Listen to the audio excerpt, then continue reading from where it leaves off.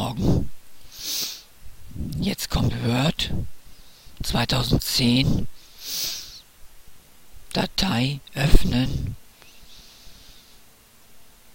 Ich mache mal was vor mit dem ersten Petrusbrief und dem zweiten Petrusbrief.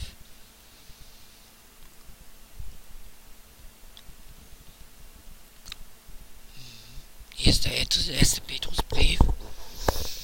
Und zwar möchte ich euch mal ihn, ihn mal zeigen, wie man zusammenführt. Und zwar zwei Dokumente, die schon da sind, wie man die beiden zusammenführt. Ich mache das so. Ich gucke erstmal, ob der Text gut ist. Ich gehe mal so durch. Hier mit dem, mache ich mal eben vor, hier damit, hier mit dem Balken, Rollbalken. Kann man schön einmal gucken, ob alles richtig ist. Und hier habe ich was gemacht. Hier habe ich, das zeige ich mal eben, was ich gemacht habe. Dieses wichtige Zeichen hier oben, das erreicht man bei Start und hier bei diesem komischen Rückwärts P.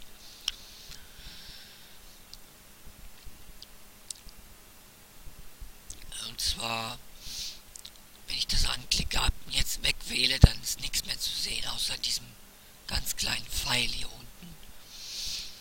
Ich mache es mal an, dann sehe ich mehr, was ich schon mal geschrieben habe. Dann sehe ich einfach mehr. Habe ich mehr Kontrolle. So, jetzt kann man hier noch meinetwegen auch Text verbessern. Das mache ich nur mal ganz kurz. Und jetzt gehe ich hier rein. Da. Return. Hier gehe ich hin. Und den Cursor lasse ich hier stehen. Der Cursorposition ist jetzt ganz wichtig, weil ich mir jetzt überlegen muss, in welcher Reihenfolge speichere ich diese Dateien, die beiden ab. Die beiden Dokumente. Ist ja klar, die Reihenfolge steht schon fest. Der erste Petrusbrief kommt natürlich vor dem zweiten. Aber das erreiche ich nur, wenn ich die Cursorposition richtig setze.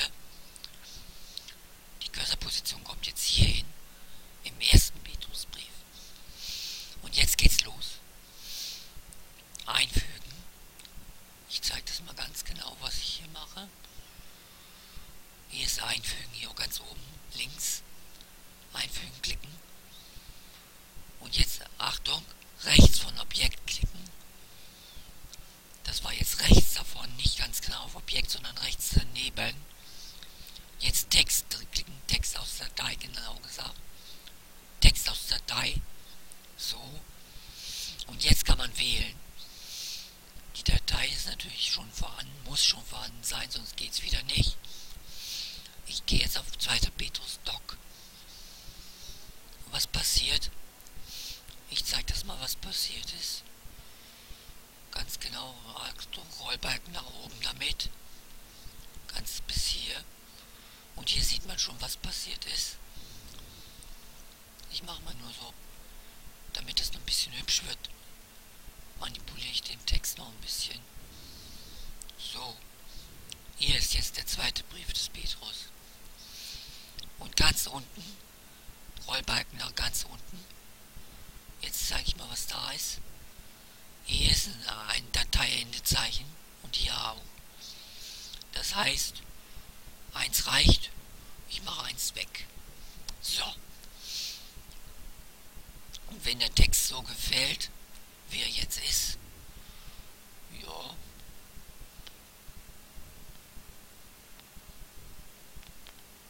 Gefällt mir wohl. Zweite Petrus und der erste Petrus. So, wenn alles richtig ist, dann kann man jetzt ganz genau das machen, was ich jetzt mache. Datei gehe ich hier hin und speichern unter.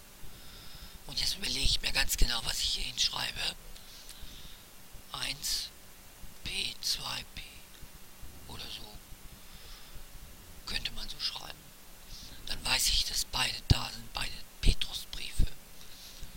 Speichern.